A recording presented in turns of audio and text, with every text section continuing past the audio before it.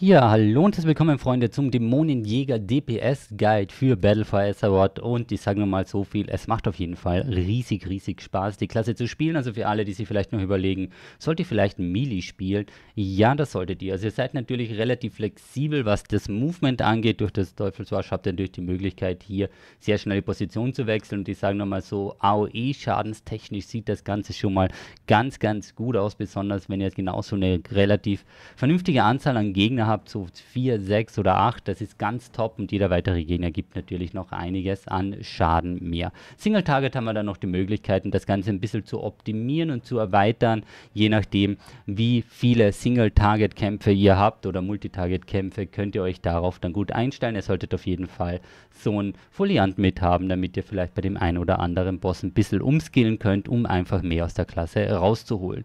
Wie ihr schon gewohnt seid bei den Videos, wir werden mal über die Rotationen sprechen, sprechen über die Talentevergabe, über die Azerit-Rüstung, was solltet ihr da nehmen, was braucht ihr, natürlich über die Werteverteilung und dann gibt es noch ein paar Ausschnitte aus diversen Kämpfen mit ein paar Anmerkungen, wie ihr denn was am besten lösen könnt. Ja, Freunde, und nach der Einführung wollen wir uns natürlich mal anschauen, welche Talente ihr wählen sollt und wie denn so eine Rotation aussieht. Wie schon gesagt, auch bei den anderen Videos, einen Kriegsmodus idealerweise aktivieren, gibt ein bisschen mehr aus diversen Quests und World Quests. Das Medaillon wollt ihr haben, einsamer Rächer wollt ihr haben, dämonische Serbe und natürlich den Mana-Brecher hier als WVP-Talente gewählt. Von den normalen Sachen her. Es gibt jetzt zwei Varianten, das Ganze zu spielen. Also meine bevorzugte Variante und die dann mit etwas mehr kritischer Trefferwertung, also wenn die natürlich ein bisschen nach oben geht, funktioniert das Ganze dann schon richtig, richtig gut. Und zwar spielen wir mit Teufelsklinge und dann als 100er Talent mit den Dämonenklingen. Dämonenklingen sind ja so praktisch im Passive dazu. Das bedeutet also, die Auto-Hits haben dann die Chance, eben das zusätzlich zu machen. Das heißt also, wenn wir am Ziel dran stehen, dann aktiviert sich das Ganze und dann funktioniert das. Alternativ wäre noch die Möglichkeit, hier zum Beispiel auf blinder Jezorn zu gehen und dafür auf unstillbarer Hunger. Unstillbarer Hunger ist jetzt das, was früher in Legion mal das Legendary war, wo wir zusätzlich mehr Jezorn generieren. Also das wäre vielleicht die bessere Variante, wenn es darum geht, dass ihr noch nicht so viel Crit habt, dann könnte es ein bisschen kritisch werden. Als 102er Talent eine ganz klare Sache Teufelsbeschuss. Also Teufelsbeschuss ist das Talent in BFA für den Dämonenjäger.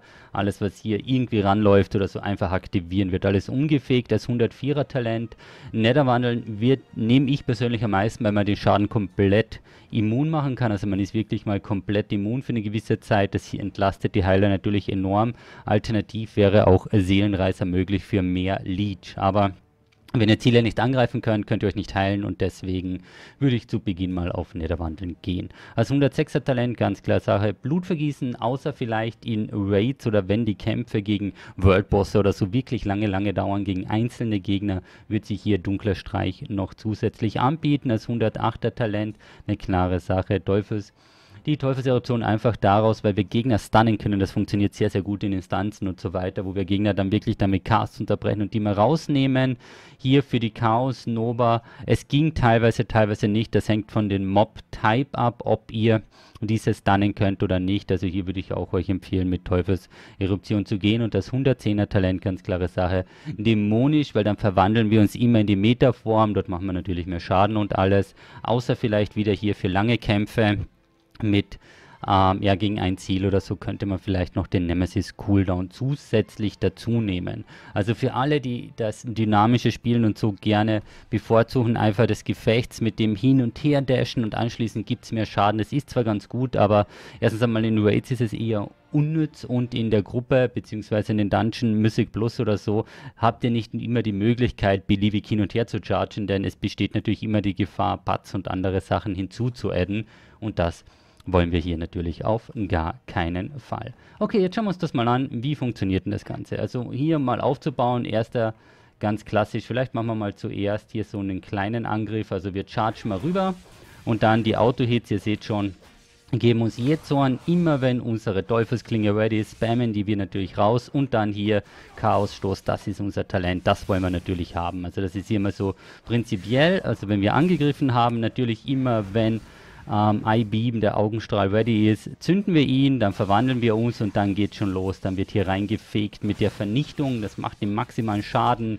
Danach wieder, wenn es ready ist, die Teufelsklinge, um eben wieder zusätzlich Jezorn aufzubauen und dann wird schon wieder weiter gespammt mit Chaosstoß und sobald dann der I-Beam ready ist, ziehen wir den natürlich gleich wieder mit drauf. Also das ist hier mal so prinzipiell gegen ein einzelnes Ziel. Wir haben hier natürlich noch unseren mächtigen Cooldown, die ähm, Metamorphose, das nehmen wir aber dann praktisch erst, wenn wir wissen, wie lange dauert der Kampf. Ne? Der Cooldown ist jetzt hier so zwei Minuten wegen einem BVB-Talent. Normal ist er vier Minuten. Das heißt also, ihr müsst schauen, wie lange lang dauert der Kampf. Wenn er lange genug dauert, zündet ihr ihn direkt zu Beginn, kriegt ihr ein zweites Mal ready, ein zweites Mal bereit. Oder aber ihr zieht es dann, wenn der Gegner mehr Schaden kriegt. Ja?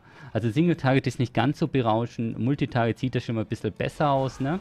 Mal ein bisschen durchgecharged und dann geht schon los. Hier fährt schon mal I-Beam rein, dann fährt hier unser Todesfeger rein und jetzt kommt das Todestalent und hier seht ihr es Teufelsbeschuss. Also Teufelsbeschuss, Multi-Target und so weiter, das ist der Wahnsinn. Also wie es hier abgeht, dieser Burst Damage, ja, der Demon Hunter geht in die Luft und mäht einfach alles weg. Das ist echt für Ads in Raids oder bei den Instanzen ist es wirklich ganz, ganz super.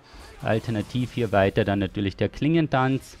Die Aufbauphase von Jezorn ist die gleiche wie auch im Single-Target und dann hier, was haben wir da? Zack, I-Beam und dann verwandeln wir uns wieder, spammen wir wieder weiter und so. Also zwischendurch sollten wir wirklich an das Jezorn Cap kommen. Also wenn wir hier oben voll sind, können wir auch, wenn die anderen Sachen auf Cooldown sind, wie Klingentanz und so weiter, dann nehmen wir halt ein einzelnes Ziel raus, machen Chaosstoß. Es ist immer besser, Schaden zu machen, als irgendwie auf einen Skill einfach zu warten, bis dieser wieder ready ist. Ne?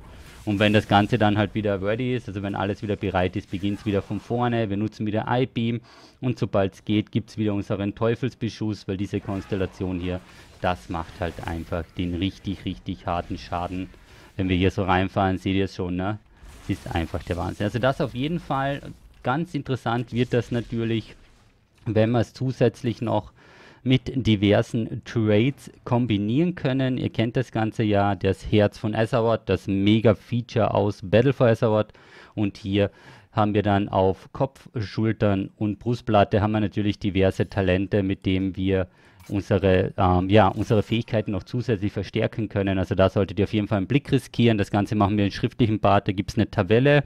In dieser Tabelle steht drinnen, welche Fähigkeiten gibt es und welche wollt ihr haben, um das Ganze hier wunderbar abzurunden. Also da solltet ihr, wie schon gesagt, auf jeden Fall einen Blick riskieren damit ihr hier nochmal einiges mehr an Schaden rausholt, denn hier sind diverse Talente drin, die dann eben im Single-Target oder im Multitarget funktionieren oder eben Sachen, die eure Stats nochmal ein bisschen hochdrehen. Da braucht man dann die Simulationen, um zu schauen, okay, was ist gut, was ist nicht so gut.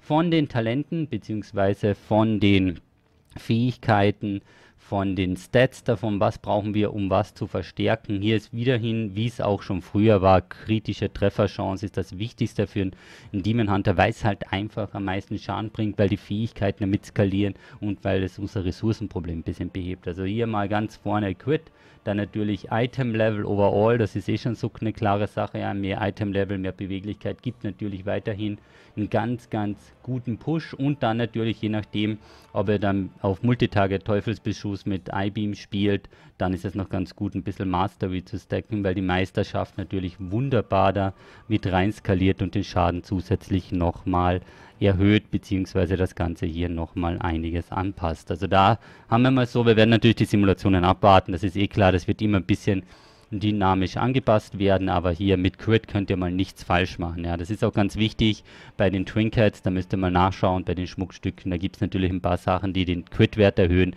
die sind dann verhältnismäßig auch viel, viel höher gesimmt, weil sie euch natürlich auch viel, viel mehr DPS bringen.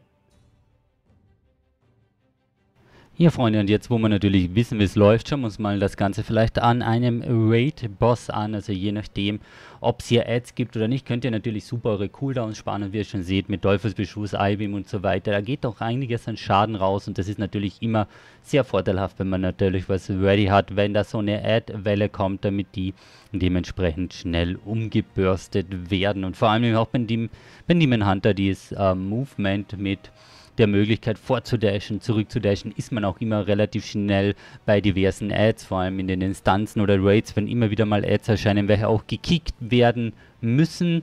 Relativ schnell natürlich, weil sonst gibt es hier einen enormen Raid- oder Gruppenschaden. Da seid ihr natürlich richtig gut am Start. Aber die momentane Stärke war halt eindeutig dabei, eben wenn die Ads rauskommen, wenn da einfach Damage benötigt wird, Teufelsbeschuss, I-Beam rein, Klingentanz durch, also hier auf jeden Fall einige Möglichkeiten, zusätzlich noch die Chaos Nova, welche nochmal. Gegner auch kurzzeitig interruptet, unterbricht oder so weiter, ist, sind alles ganz, ganz wichtige Fähigkeiten, wenn es darum geht, sich in den Raids oder aber mythischen Innis zu behaupten. Also wie gesagt, spielerisch macht das Ganze auf jeden Fall hier schon mal richtig Laune, abhängig dann davon, wie viel äh, Gegner sind da, wie könnt ihr euch hinstellen und so habt ihr natürlich immer einen Vorteil, wenn es mehrere Gegner sind, weil da einfach der Schaden doch nochmal um einiges höher ist. Ja, Freunde, das war es soweit. Ich hoffe, ich konnte euch einen ganz guten Einblick geben. Schon, wie schon gesagt, schaut auf jeden Fall in den schriftlichen Guide. Da gibt es noch ein paar ganz, ganz wichtige Infos. Wenn es irgendwelche Fragen gibt, ab damit in den Kommentaren. Und jetzt wünsche ich euch natürlich wie immer viel Glück, viel Spaß und bis zum nächsten Mal.